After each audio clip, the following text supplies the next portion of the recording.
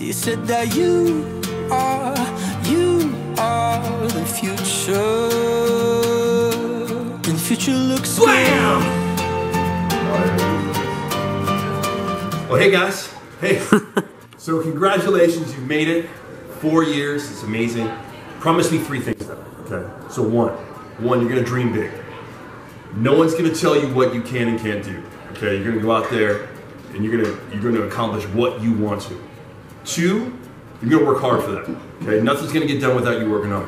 Three, you're gonna stay humble about it. There's a lot of awesome jerks out there. Don't be one of them.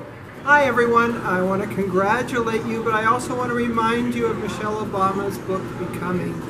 Each stage of your life you're becoming someone new, and some of it will be after travail, and some of it will be after great joy and satisfaction. We wish you the best.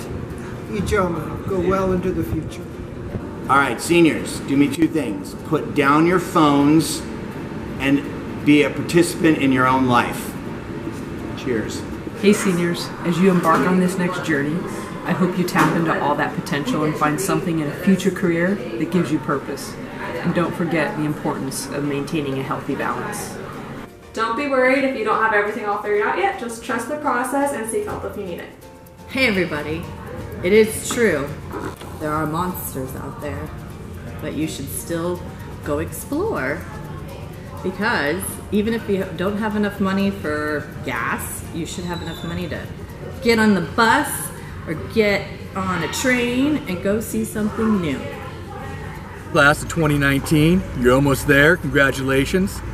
Don't blow it. Go Rams.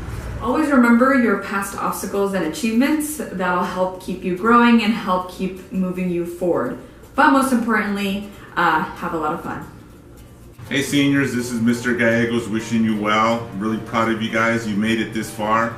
I can't wait to call your names at graduation.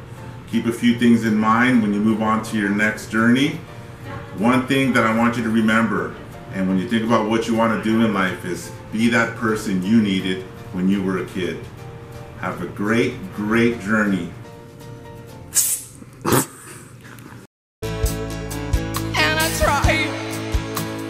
Oh my God, do I try?